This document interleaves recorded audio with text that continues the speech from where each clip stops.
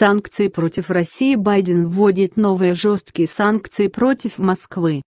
Президент США Джо Байден ввел новые масштабные санкции против России, включая долгожданные меры, направленные на ее государственный долг, в результате резкой эскалации конфронтации Вашингтона с Москвой, первые антироссийские меры администрации Байдена также включают высылку 10 российских дипломатов из США и санкции против 38 юридических, физических и юридических лиц, обвиняемых в участии в попытках вмешательства в выборы в США и проведении кибератак. В среду США впервые официально обвинили СВР, службу внешней разведки России, во взломе села Руинс, затронувшем как минимум 9 федеральных агентств и 100 компаний. Один высокопоставленный чиновник администрации сообщил журналистам, что взлом дал России возможность шпионить за более чем 16 тысяч компьютерных систем по всему миру или потенциально нарушать их работу. Новости о мерах вызвали распродажу российских активов и предупреждение Кремля о том, что они нанесут вред усилиям по снижению напряженности между двумя странами. Новые санкции запрещают финансовым учреждениям США торговать вновь выпущенными государственными долговыми обязательствами России, известными как ОВС,